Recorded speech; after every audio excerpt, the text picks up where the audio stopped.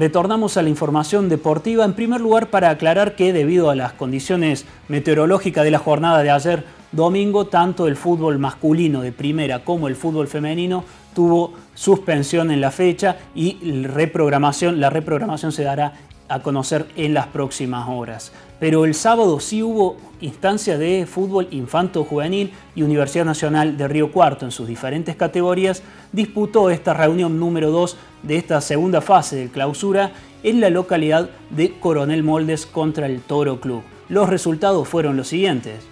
En categoría sub-17, victoria de Toro por 2 a 1. En sub-15, triunfo de Universidad por la mínima y en sub-13 fue triunfo del local por 6 tantos contra 0.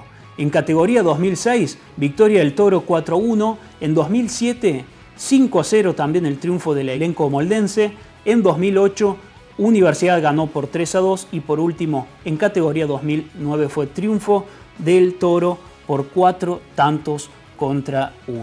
Y lo decíamos, Mañana cierran las inscripciones para la edición número 30 de los Juegos Interfacultades, esta inscripción que se puede realizar en la Dirección de Deportes y en la Federación Universitaria de Río Cuarto.